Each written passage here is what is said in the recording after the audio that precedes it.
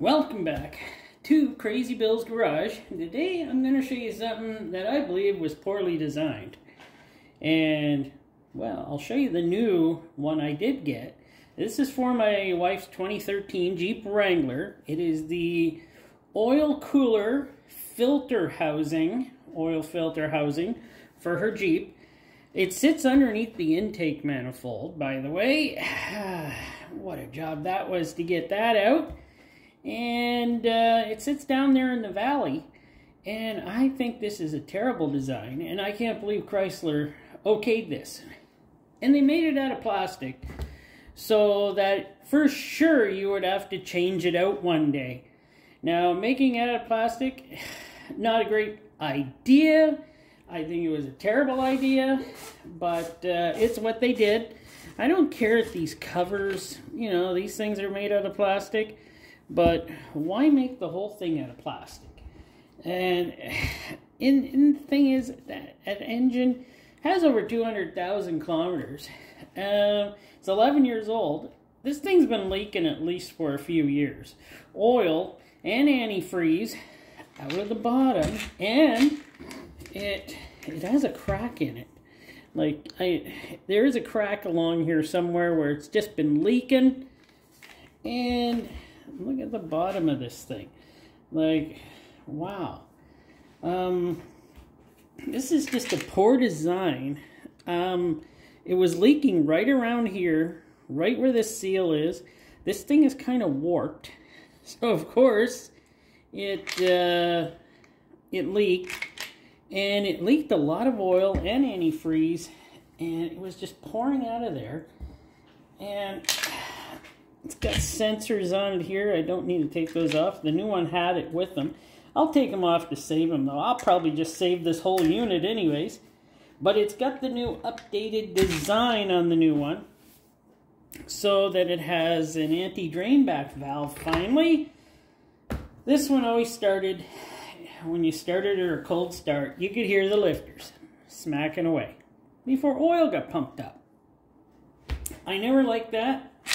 I always hated that, but that's the way it was with this design.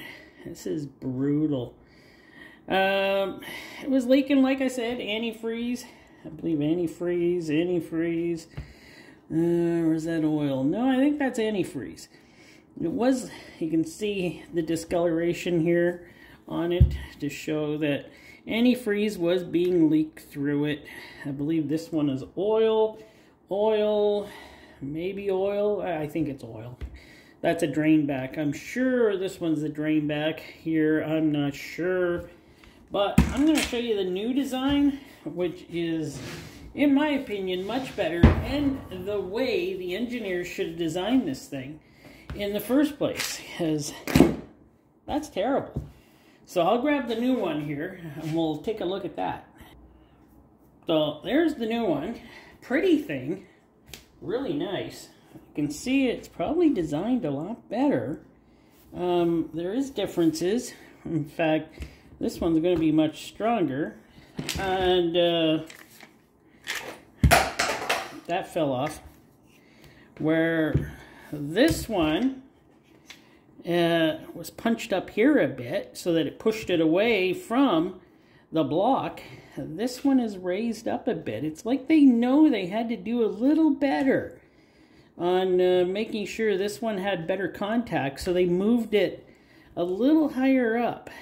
So I find that to be kind of an interesting design because this heaved and moved up and oil started to leak out.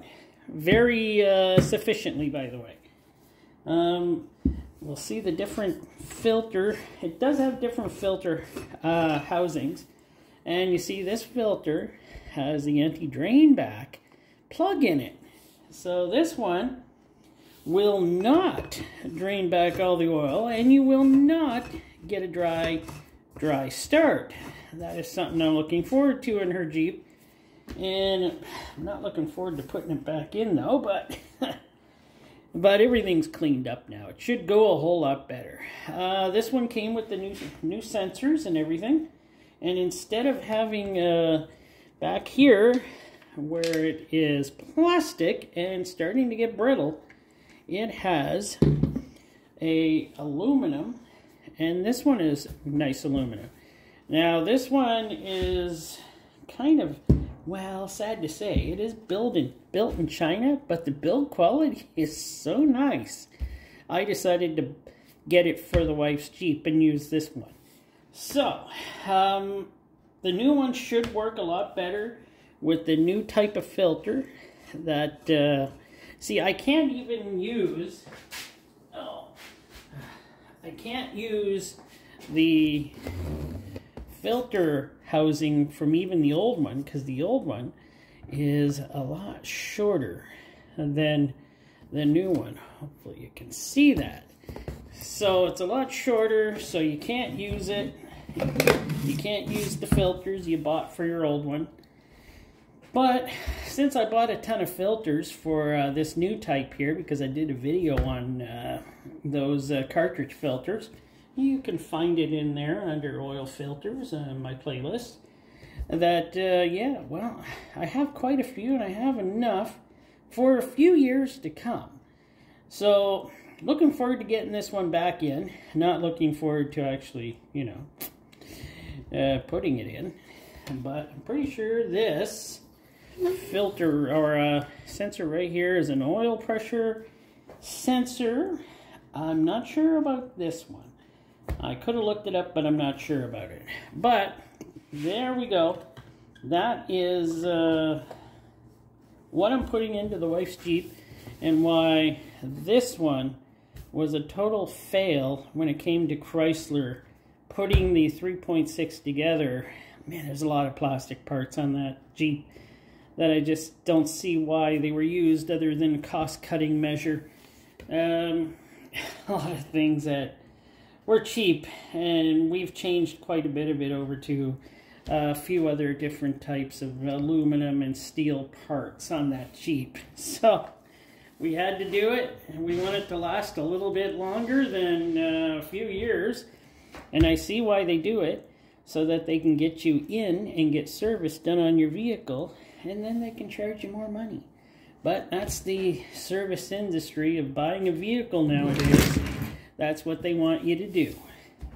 Well, we're off topic. Uh, what can I say?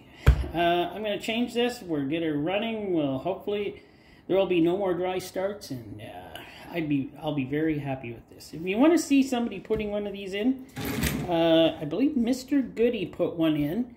Look up Mr. Goody on YouTube. Very nice fellow, very good fellow. And uh, yeah, he uh, he did one of these on a 3.6.